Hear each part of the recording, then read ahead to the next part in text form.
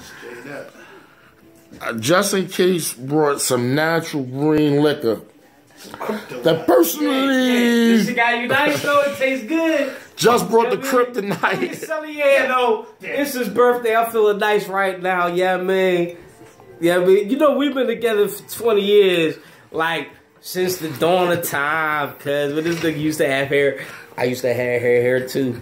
We was pretty niggas. Yeah, I mean. But we ain't ashamed of our Hey, masculinity. listen, listen, absolutely. All that means we bust a lot of nuts. Yeah, I mean. Hey, look, hey, look. It's my nigga birthday right here, man. This my brother right here, my best friend.